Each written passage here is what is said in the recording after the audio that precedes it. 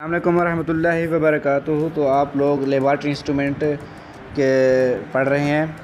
तो laboratory instrument में आज है आपका वाटर बाथ कि वाटर बाथ का क्या फ़ंक्शन होता है, किस तरह इस्तेमाल किया जाता है और इसका क्या प्रोसीजर होता है और इसको किस तरह आप मेंटेन कर सकते हैं, किस तरह की केयर कर सकते हैं। तो सबसे पहले पढ़ते हैं कि वाटर बाथ है क्या चीज़।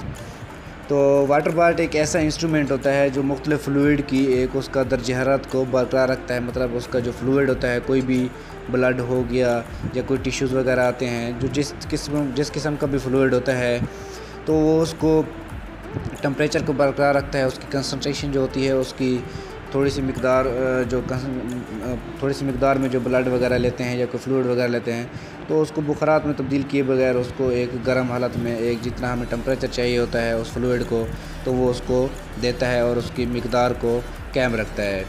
उसके बाद इसका इस्तेमाल उस वक्त किया जाता है जब बहुत सारी ट्यूबों का दर्जा बरकरार रखना मतलब ये उस वक्त इस्तेमाल किया जाता है जब आपके पास बहुत ज़्यादा फ्लूड हो, बहुत ज़्यादा ट्यूबें आ जाती हैं तो उस वक्त फिर आपको ये वाटर बाथ इस्तेमाल करना पड़ता है और आपको जो उनका फ्लूड होता है, उनका टम्परेचर बरकरार रखने के लिए, उनको एक सही हालत में कैम रखने के लिए आप उसको उस वाटर बाथ में रख देते हैं। इसकी एग्जांपल ये है कि कोई भी चीज़ है, जैसे आप फ्रिज वगैरह रेफ्रिजरेटर में रख देते हैं कि ख़राब होने से बच जाए तो उसकी मकदार भी वही रहती है और वो ठीक भी रहता है, वो ख़राब भी नहीं होती। तो इसी तरह वाटर बाथ में भी ये जो फ्लूड रखे जाते हैं तो उनकी जो फ्लूड होता है, वो बुखारात में भी तब्दील नहीं होता और उनकी कंसनट्रेशन जो होती है, उनकी जो मकदार होती है, वो भी कैम रहती है, वो भी ज़्यादा बुखारात में तब्दील नहीं हो पाती।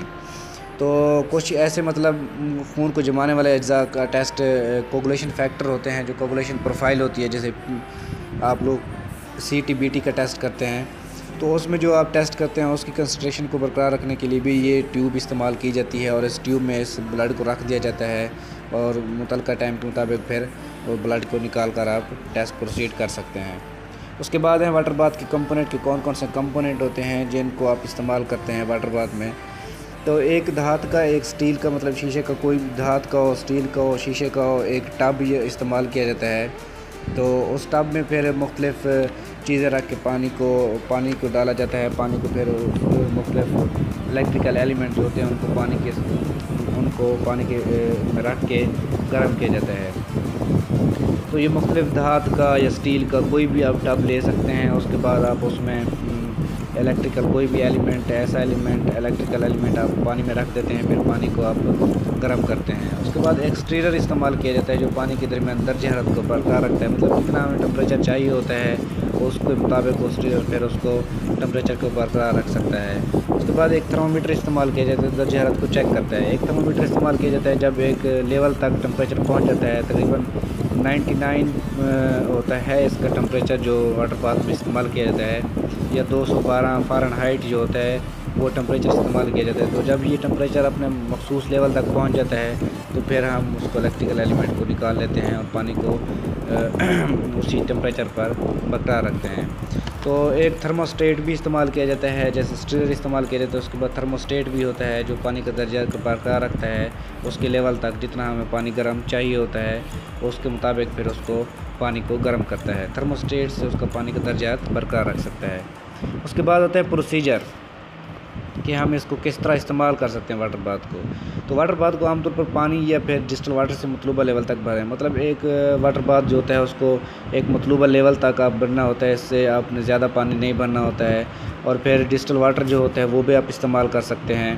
और उसके मतलूबा लेवल तक आप भर लेते हैं। उसके बाद आप जो वाटर बाथ उसको ऑन कर देते हैं ताकि वो अपना प्रोसेस शुरू हो सके। उसके बाद दर्जात मालूम करने के लिए एक थर्मोस्टेट को ऑन करना है, उसके बाद थर्मोमीटर के साथ दर्जात को चेक कर देते हैं। अब थर्मोस्टेट जो होती है थर्मोस्टेट जो होता है, उसको आप, उस पानी में रख देते हैं और थर्मोमीटर के साथ आप दर्जात को चेक करते रहते हैं। जितना टम्परेचर उसका बरकरार रखने के लिए आप थर्मोस्टेट का इस्तेमाल करते रहते हैं, फिर थर्मोमीटर के साथ आप उसको दर्ज हरारत को माप लेते हैं कि कितना दर्ज हरारत पहुँच चुका है। उसके बाद ट्यूब्स या कंटेनर को वाटर बाथ के अंदर रखते हैं। ये ट्यूब होती हैं या कंटेनर होती है, आप उसके वाटर बाथ के अंदर रख देते हैं।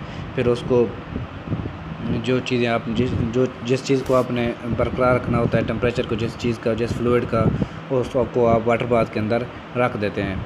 उसके बाद काफ़ी देर तक वाटर कंटेनर को वाटर बाथ के अंदर रखना हो तो कंटेनर के मुँह के ऊपर काटन ज़रूरी लगा देते हैं। अगर आपने ज़्यादा देर तक कंटेनर को वाटर बाथ में रखना हो तो फिर कंटेनर का जो मुँह होता है उसको आप बंद कर देते हैं काटन के ज़रिए, ताकि ये बुखारात में तब्दील ना हो सके। उसके बाद है प्रोसीजर एंड मेंटेनेंस मतलब इसको किस तरह आप वाटर बाथ की केयर केयरिंग कर सकते हैं, किस तरह आप उसको साफ़ रख सकते हैं। तो वाटर बाथ को रोज़ाना साफ़ करें और पानी तब्दील कर दें पानी भी तब्दील करते रहें। वो कहता है जो वाटर बाथ होता है उसको एक तो आप रोज़ाना साफ़ करें, उसको क्लियर करें, उसके बाद पानी को भी तब्दील करते रहें। एक ही पानी अगर खड़ा रहेगा तो उससे मुख्तलिफ़ एलजी वगैरह, फिंजी वगैरह पैदा हो जाती हैं और वाटर बाथ को नुकसान होता है इससे। उसके बाद वो कहते हैं डी ऑनाइज जो वाटर होता है, वो इस्तेमाल करें ताकि मुख्तलिफ़ एलजी होते हैं या फिंजाई होते हैं, वो नशे नुमा अपनी वाटर बाथ में ना पा सकें. उसके बाद वाटर बाथ का इस्तेमाल ना हो तो उसे ढाँप कर रखें अगर वाटर बाथ का आप इस्तेमाल नहीं कर रहे तो फिर आप उसको ढाँप के रखें, ताकि उसमें मुख्तलिफ़ जो गदो गदो गुबार वगैरह, जो मिट्टी वगैरह उसके ऊपर ना जम सके और वो पानी जो होता है वो बुखारात में भी तब्दील ना हो सके। एक तो वो साफ़ सुथरा रहेगा, मुख्तलिफ़ मिट्टी से मुख्तलिफ़ धूल जो वगैरह होती है, उससे भी वो साफ़ रहेगा। दूसरा, पानी जो होता है उसमें होता है वो बुखारात में तब्दील भी नहीं हो सकेगा। उसके बाद वक्फे वक्फे से थर्मोमीटर के साथ उसका दर्जा चेक करते रहें। आप वक्फे वक्फे से उसका वाटर बाथ का टेम्परेचर चेक करते रहें कि टेम्परेचर ठीक है, जितना आपको मखसूस चाहिए, इतना ही दे रहा है या ज़्यादा दे रहा है या कम दे रहा है तो फिर उसके मुताबिक आप प्रोसीजर करते हैं। और कोशिश करें कि थर्मोमीटर वाटर बाथ के अंदर ही लगा रहे एलिमेंट को टच ना करें। और कोशिश करें कि वाटर बाथ को जो होता है, उसमें टम्परेचर थर्मोमीटर को टम्परेचर चेक करने के लिए थर्मोमीटर को अंदर ही रखें। और जो थर्मोमीटर होता है, उसको आप एलिमेंट इलेक्ट्रिकल एलिमेंट जो होता है, उसको टच ना करें ताकि उसको टेम्परेचर जो होता है वो सही तरीके से आपको पता लग सके।